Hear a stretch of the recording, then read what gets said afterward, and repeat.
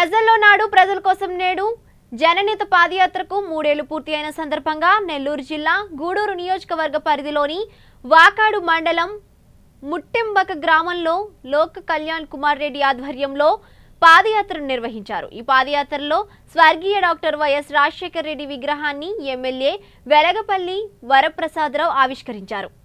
అనంతరం ప్రజల్లో నాడు ప్రజల కోసం నేడు అనే నినాదంతో గ్రామంలోని వైఎస్సార్సీపీ పార్టీ నాయకులు మరియు యువ నాయకుడు పలంపర్తి లోక కళ్యాణ్ కుమార్ రెడ్డి కార్యకర్తలతో కలిసి పాదయాత్ర చేశారు. ఈ కార్యక్రమంలో లోక కళ్యాణ్ కుమార్ రెడ్డి మాట్లాడుతూ ఆ రోజు మొట్టమొదటిసారి దివంగత నేత వైఎస్ రాజశేఖర్ రెడ్డి వాకాడికి వచ్చినప్పుడు వర్షం ఆశీర్వదించిందన్నారు. జలయజ్ఞంలో భాగంగా మొట్టమొదటిగా మన వాకాడు స్వర్ణముఖి బెరయర్జికి వచ్చిందని ఈ సభాముఖంగా తెలియజేస్తున్నారని తెలిపారు. అదేవిధంగా ఈ రోజు దివంగత నేత వైఎస్ రాజశేఖర రెడ్డి విగ్రహ ఆవిష్కరణకు వర్షం పడటం చాలా చాలా సంతోషంగా ఉందన్నారు. ఈ కార్యక్రమంలో మండల convener Nedurumalli Ranjan Reddy YSRCP party నాయకులు యువ నాయకుడు లోక కళ్యాణ్ కుమార్ రెడ్డి నందగోపాల్ రెడ్డి కోటేశ్వర్ రెడ్డి బాబు మరియు నాయకులు కార్యకర్తలు పాల్గొన్నారు.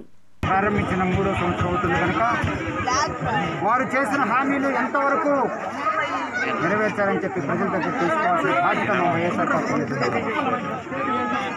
ఎందుకంటే ప్రజలు నమ్మి దాదాపు ఎనభై ఆరు శాతం ఓట్లు మా వైఎస్ఆర్ పార్టీకి పడ్డాయి ప్రతి ఒక్క ఓటు కూడా వైఎస్ఆర్ రాజశేఖర రెడ్డి గారు తనయుడు జగన్మోహన్ రెడ్డి గారికి పడిందన్నదాన్ని అందులో ఏ ఒక్క లేదు.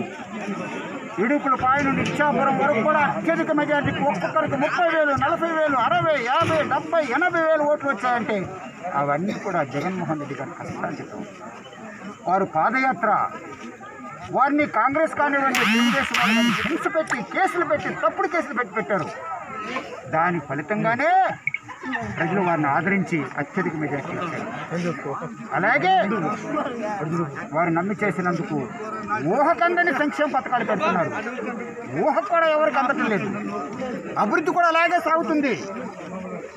ఈరోజు నేను కల్లూరు గ్రామం పల్లెపాలెం అలాగే ముట్టెంబాక వచ్చినప్పుడు ఒక్కొక్క లబ్ధిదారులను అడుగుతుంటే పేదవాళ్ళు మా ఇంట్లో మూడు పళ్ళ పథకాలు వచ్చాయి నాలుగు పథకాలు వచ్చాయి డెబ్బై ఐదు వేలు వచ్చాయి ఒక లక్ష రూపాయలు వచ్చాయని చెప్పి చెప్పుకుంటే ఈ పద్దెనిమిది నెలల్లో కూడా ఎంతో సంతోషం. కార్డు వచ్చి ఉండదు ఆధార్ కార్డు వచ్చి ఉండదు కనుక ఉన్నారు. ఇక్కడ ఇది అయిన తర్వాత ఉంటాను. అలాగే చక్కని ఇందాక చెప్పడం జరిగింది. ఈ విధంగా ఒక్క గ్రామంలో గోపాల్ రెడ్డి గారి తనయుడు కళ్యాణ్ వచ్చి పదిహేను నుంచి పద్దెనిమిది నెలల్లో జగన్మోహన్ రెడ్డి గారు ముఖ్యమంత్రి అయిన తర్వాత ఒక్క గ్రామానికి ఎంత ఇచ్చారో ఎంత విపులంగా చెప్పారు అంటే ఒక కోటి ఎనభై మూడు లక్షలు ఒక గ్రామానికి వచ్చిందంటే ఇది అమ్మఒడి కానివ్వండి రైతు భరోసా కానివ్వండి జగనన్న తోడు కానివ్వండి లేదా చేయూత కానివ్వండి లేదా సున్నా వడ్డీ కానివ్వండి ఏది చూసుకున్నా కూడా రైతు భరోసా కానివ్వండి ఇవన్నీ కూడా చూస్తే ఒక కోటి ఎనభై మూడు లక్షలు ఈ ఒక్క గ్రామానికి వచ్చిందంటే ఒక సంవత్సరంలో వచ్చిందంటే చూడండి ఏ విధంగా రాష్ట్ర సంపద పేద ప్రజలకు పంచిపెడుతున్నారు. ఏ ఒక్కరు కూడా ఈ ఆలోచన అందలేదు. కనుక మేము ప్రజలను కోరేది ఏమిటంటే ఈ ప్రజా సంక్షేమం కోరే ఇలాంటి ముఖ్యమంత్రి మరలా మనకు దొరకడు కనుక ప్రజలను చేతులు జోడించి కోరుతున్న పేదవాళ్ళని నేను కూడా చిన్న కుటుంబం నుంచి వచ్చిన వ్యక్తిని పేదరికాన్ని దగ్గర నుంచి చూసిన వ్యక్తిని ఇలాంటి ముఖ్యమంత్రి ఉంటే అసమానత్వాలు తగ్గిపోతాయి. పేదవాడు కూడా గౌరవంగా ఉండగలుగుతారు. విద్య వస్తుంది. ఆరోగ్యం కాపాడుకోవడానికి ఆరోగ్యశ్రీ ఉంది.